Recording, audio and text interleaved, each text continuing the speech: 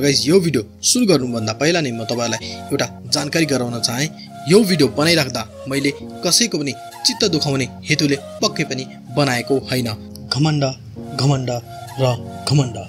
यो शब्द मात्र साढे तिन अक्षरले बनेको छ तर यसको पावर यति छ कि यसले राजालाई पनि सडकमा पुर्याउन समय लगाउँदैन। जुन कुरा परम्परादेखि सत्ययुगदेखि नै निरन्तर चलिआएको छ जसमा जगत कर्ता धर्ता शिवजीको महान भक्त। राजा रावणले पनि एउटा सानो घमण्डका कारण आफ्नो सर्वस्व गुमाउनु परेको थियो। त्यसैले सानो नोट राख्न चाहे राज त म सबै ठाउँमा गर्छु मन परेको दिलमा अनि घृणा गर्नेको दिमागमा।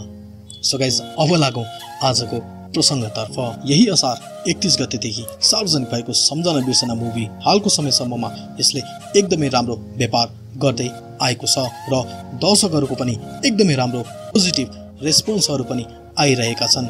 जुन कि तपाईँहरूलाई मैले योभन्दा पहिलाका भिडियोहरूमा पनि अपडेट गरिसकेको छु। सो गाइस यसै सिलसिलामा आफ्नो फिल्मको बारेमा अपडेट लिन र दर्शकहरूसँग बसेर फिल्म हेर्ने हेतुले फिल्म रिलिज भएको दोस्रो दिन आकाश श्रेष्ठ र पूजा शर्मा तथा फिल्म सम्झना बिर्सनाको डाइरेक्टर र प्रड्युसर पनि अष्टनारायण सिनेमा हलमा भिजिट गर्नु भनेर जानुभएको रहेछ तर त्यहाँ एउटा अप्रत्याशित दृश्य हेर्न पाइयो। दर्शकहरूले आफ्नो मन परेको स्टारलाई आफूसँगै देख्न पाउँदा खुसीको सीमा नै नागेको देखियो र दर्शकहरूले आफ्ना कलाकारको चेयरअप गर्नका लागि हुटिङ गरे जसमा कुनै बेला आकाश आकाश सुनिन्थ्यो भने कुनै बेला पूजा पूजा भनेर सुनिन्थ्यो र त्यसै क्रममा कुनै बेला पूजा आकाश भनेर पनि हल गुन्जिरहेको थियो। जुन कुरा स्वाभाविक नै हो। यसै बेला अचानक पूजाजीले आकाश आकाश भनेर चेयरअप गरिरहेका दर्शकहरूलाई यसरी झपारेको देखियो। जुन क्लिप अहिले सामाजिक सञ्जालमा एकदमै भाइरल भइरहेको छ।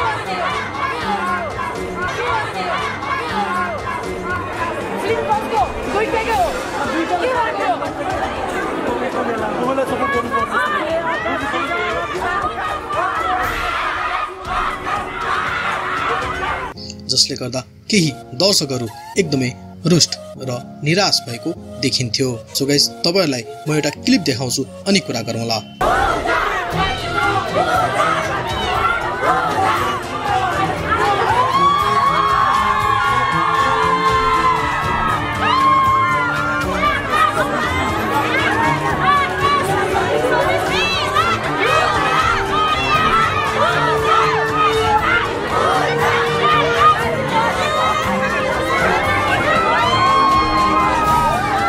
यहाँ पनि त आकाश श्रेष्ठको पछाडिबाट पूजा पूजा भनेर हुटिङ आइरहेको छ।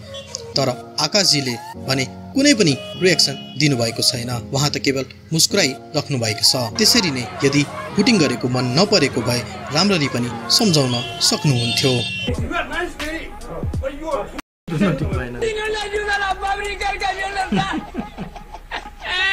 हुन त योभन्दा पहिला पनि पूजाजीलाई यस्तै बोली चिप्लिएका कारण पहिला पनि यही मिडियाले ट्रोल नबनाएको पक्कै पनि होइन।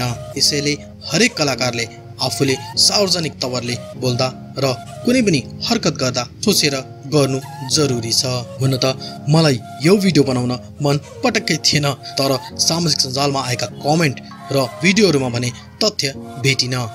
अब मलाई पनि यो भिडियो बनाइरहँदा कतिले नेगेटिभ कमेन्टहरू आउन स्वाभाविक हो। तर पनि मेरा केही प्रश्नहरू रहेका छन्।